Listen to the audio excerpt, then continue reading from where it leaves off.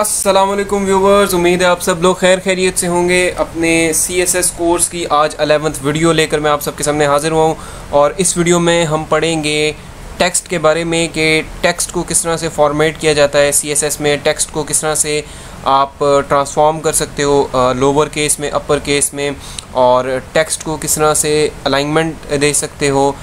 और टेक्स्ट का आ, क्या कहते हैं इसकी डिफरेंट प्रॉपर्टीज़ के बारे में हम पढ़ेंगे। तो चलते हैं अपने लेक्चर की जानब। इस वीडियो को एंड तक देखना मत भूलिएगा और मेरे चैनल को सब्सक्राइब ज़रूर करें।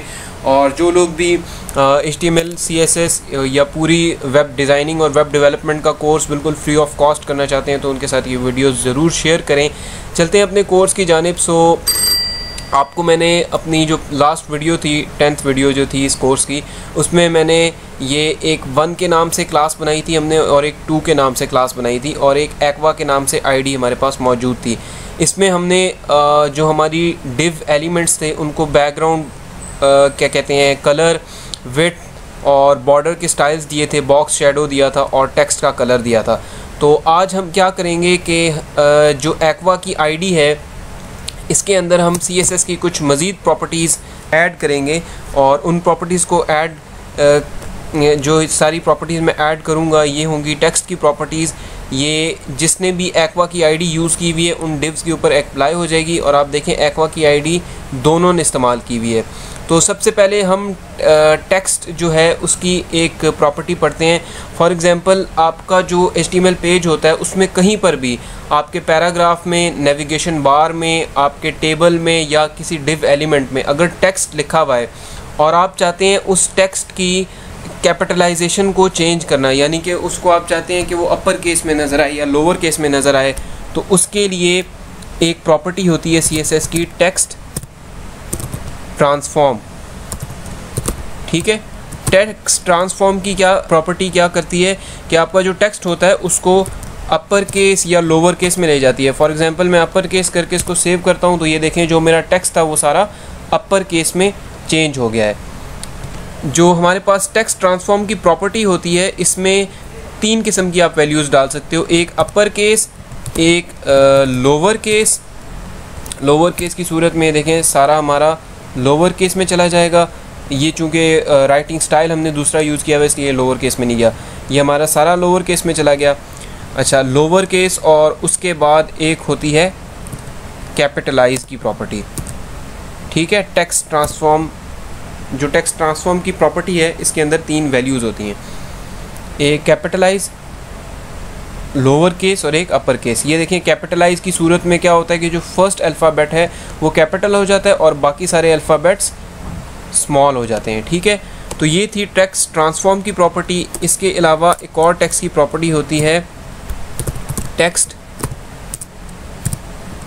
अलाइंग अगर आप अपने टेक्स्ट को सेंटर में या लेफ़्ट राइट कहीं भी करना चाहते हैं तो आप टेक्स्ट अलाइन की प्रॉपर्टी यूज़ करेंगे। जो सी एस एस में टेक्स्ट अलाइन की प्रॉपर्टी यूज़ होती है, इसकी, इसके अंदर भी तीन वैल्यूज़ आप दे सकते हैं, एक लेफ़्ट और एक राइट और एक सेंटर फॉर एग्ज़ाम्पल मैंने इसको सेंटर किया सेंटर करके मैं इसको सेव करता हूँ तो अब मैं आपको पेज बड़ा करके दिखाता हूँ। ये देखें हमारा जो टेक्स्ट है, ये बिल्कुल इस डिव के सेंटर में आ चुका है, ठीक है? क्योंकि हमारी दोनों डिव्स में बिल्कुल भी फासला नहीं है, इसलिए एक दूसरे के ऊपर चढ़ गई हैं। अब देखें, आपको नज़र आ रहा होगा, टैक्स सेंटर में आ गया है। अगर मैं टैक्स को सेंटर की बजाय लेफ़्ट कर देता हूँ तो ये दोबारा लेफ़्ट में चला जाएगा। अगर मैं चाहता हूँ टैक्स मेरा राइट में हो जाए तो मैं राइट कर दूँगा और ये टैक्स हमारा सारा राइट साइड पे चला गया।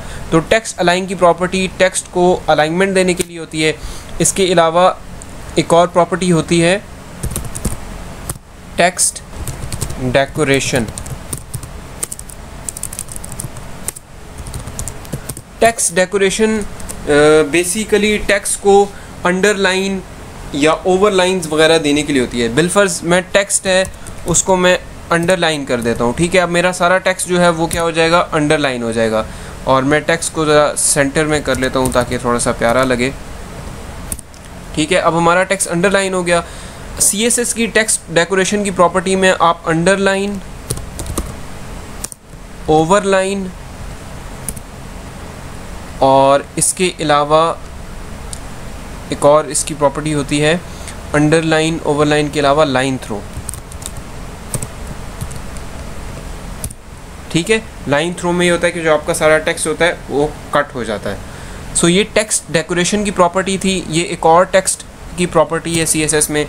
और इसके अलावा टेक्स्ट को फॉर्मेट करने के लिए टेक्स्ट फॉर्मेटिंग के लिए एक और प्रॉपर्टी होती है सीएसएस में, वो होती है वर्ड स्पेसिंग वर्ड स्पेसिंग जैसे कि आपको नाम से ज़ाहिर हो रहा है कि हर वर्ड में स्पेस देने के लिए हम वर्ड स्पेसिंग की प्रॉपर्टी इस्तेमाल करते हैं।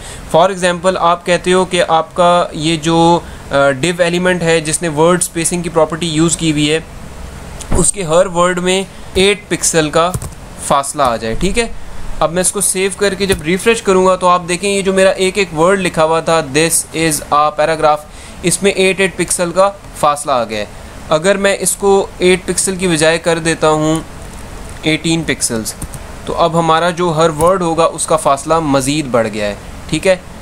सो so, वर्ड्स में स्पेस देने के लिए वर्ड स्पेसिंग की प्रॉपर्टी यूज़ होती है। अगर आपने एक एक लेटर में स्पेस देनी है तो उसके लिए लेटर स्पेसिंग की प्रॉपर्टी यूज़ होगी।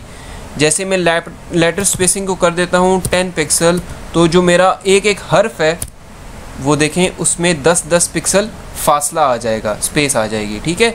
तो लेटर स्पेसिंग की प्रॉपर्टी इस्तेमाल होती है हर हर लेटर में फासला देने के लिए। अब लाइन थ्रो को हम ज़रा कर देते हैं अंडरलाइन ताकि थोड़ा सा खूबसूरत लगे।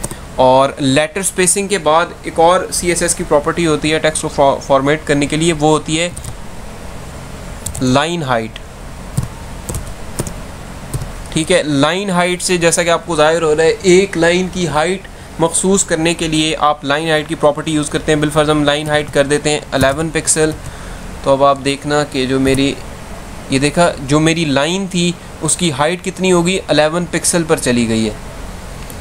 अब अलेवन पिक्सल चूँकि कम हाइट हो रही है तो मैं इसको कर देता हूँ थर्टी वन पिक्सल तो अब मेरी हर लाइन कितनी? इकतीस पिक्सल की हाइट ले रही है। अगर मैं इसको कर दूँगा 91 पिक्सल तो मेरी हर लाइन बहुत बड़ी हो जाएगी। ये देखें एक एक लाइन अब 31 पिक्सल की हाइट ले रही है। ओके सो ये लाइन हाइट की प्रॉपर्टी थी टेक्स्ट को फॉर्मेट करने के लिए।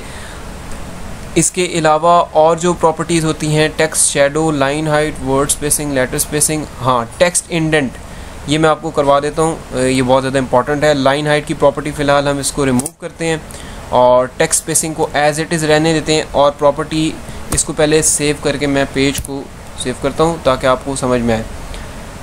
अब हम यूज़ करते हैं टेक्स्ट इंडेंट की प्रॉपर्टी आपने अक्सर देखा होगा, जो लेटर्स होते हैं, उनकी पहली लाइन में थोड़ी स्पेस होती है। लेटर्स एप्लीकेशंस जो भी जनरेट होते हैं ना, उनकी पहली लाइन में थोड़ी सी स्पेस होती है।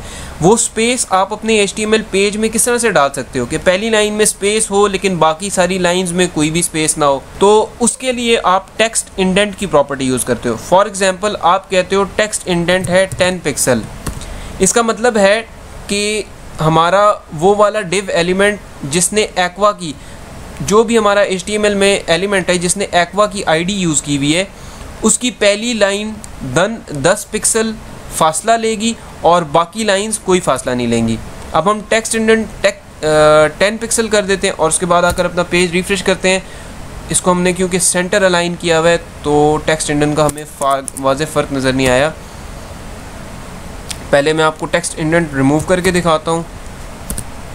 ऐसे हमारा बेसिकली ऐसे हमारा टेक्स्ट नज़र आ रहा है डिव के अंदर, ठीक है?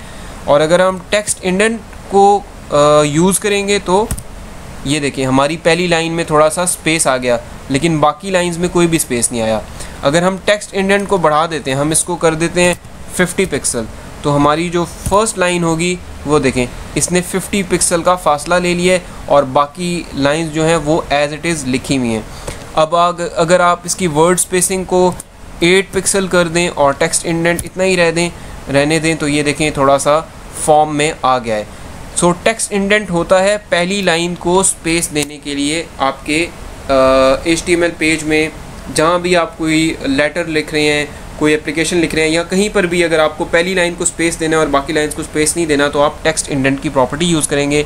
इसके बाद एक और प्रॉपर्टी होती है कलर की प्रॉपर्टी चूँकि मैं आपको करा चुका हूँ, लेकिन मैं फिर आपको बता रहा हूँ कलर ऑब्वियसली जो टेक्स्ट होता है उसको अगर आपने कलर देना हो तो आप कलर की प्रॉपर्टी यूज़ करते हो और अगर आपने बैकग्राउंड को कलर देना हो तो आप बैकग्राउंड कलर की प्रॉपर्टी यूज़ करते हो। कलर की प्रॉपर्टी बेसिकली सिर्फ़ टेक्स्ट को कलर देती है। ये बॉर्डर्स और बैकग्राउंड्स को कलर नहीं देती, ठीक है? इसके अलावा एक और प्रॉपर्टी होती है टेक्स्ट शेडो की, ठीक है? और टेक्स्ट शेडो ऑब्वियसली जो आप देखते होंगे, एक शेडो मिला हुआ होता है हर टेक्स्ट को। डेकोरेशन करने के लिए मतलब आप अपने टेक्स्ट को डेकोरेट करने के लिए उसको शेडो दे सकते हैं। ये जो पहली वैल्यू है ना 12 पिक्सल ये रिप्रेजेंट करती है हॉरिजेंटल शेडो को और ये रिप्रेजेंट करती है वर्टिकल शेडो को कि शेडो वर्टिकली कितने पिक्सल स्पेस लेगा। अब हम इसको रिफ़्रेश करते हैं तो ये देखें, हमारा शेडो हमारे सामने नज़र आना शुरू हो गया है। अब मैं चाहता हूँ कि हमारा शेडो हॉरिजेंटल स्पेस चूँकि बहुत ज़्यादा ले रहा है तो हॉरिजेंटली ये सिर्फ़ टू पिक्सल ले और वर्टिकली मैं इसको थोड़ा नीचे गिरा देता हूँ। अब देखना कि हमारा टेक्स बहुत ज़्यादा शेडो बहुत ज़्यादा नीचे आ गया। क्यों? क्योंकि दूसरी वैल्यू जो होती है वो वर्टिकल स्पेसिंग की होती है। टेक्स्ट शेडो की प्रॉपर्टी में ठीक है?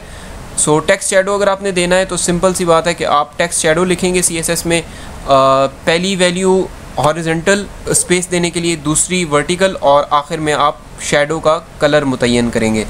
बिलफर्ज आप इसको वाइट लिख दें तो आपका जो टेक्स्ट का शेडो है वो सारा वाइट हो जाएगा।